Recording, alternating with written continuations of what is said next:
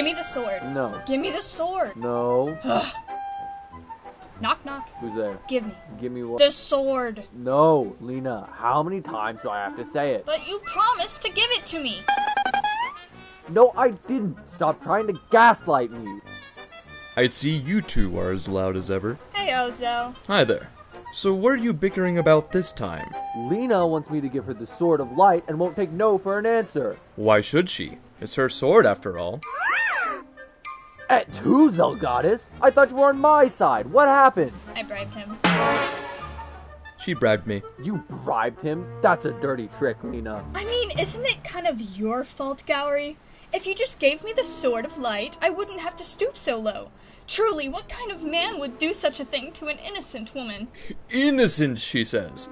Even Gourry's not dumb enough to fall for that one. He's right, Lina. Can't you just give it up already? Tell you what, Gourry. Let's you and me have a bet. A bet. Yep. If you can beat me, I'll never bring this up again. But if you fail, I get the sword. Wow, that sounds like a pretty sweet deal. It's really not. No takebacks. Alright, Gourry. I'm gonna flip a coin. If it lands on heads, I win. If it's tails, you lose. Gourry, wait. Let's do it, Lina. Duh, I tried. All right, I lose. Uh, what? Wait, I lose? Alright, I win! Give her here, Gourry. You lost fair and square. Ugh, I guess you're right. A man never goes back on his word after all. That poor himbo swordsman. Stop right there, Miss Lina. When did you get here? Amelia? You can't hide your misdeeds from me, Miss Lina.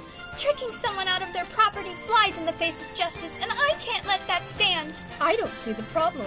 I laid out my terms very clearly. It's his own fault for agreeing. You know it's not that simple, Miss Lina.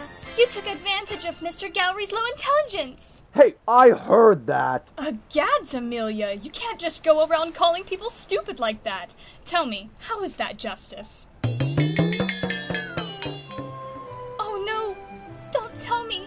In trying to eliminate evil, have I become that very evil myself? What a conundrum. Maybe you should take some time to think on it. You're right, Miss Lina. I'll use this experience to become an even more powerful warrior for justice. Yeah, sure, whatever. Ugh, you're all so weak-minded. Hey, look, Zell! It's, uh, a clue to the Claire Bible! What? Where is it? Why is my wallet missing?